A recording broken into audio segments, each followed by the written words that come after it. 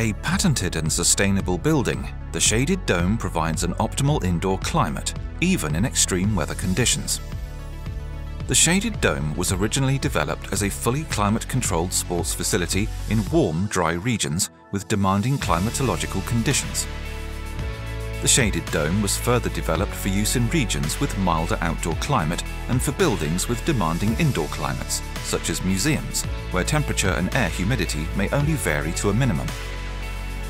Due to its large span, the concept can be applied for exhibitions, sporting events and concerts.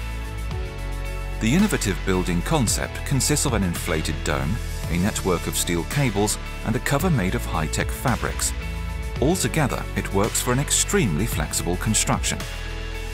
The lightweight construction of the shaded dome has structural features equal to traditional structures with a high mass. The shaded dome is the building concept of the future,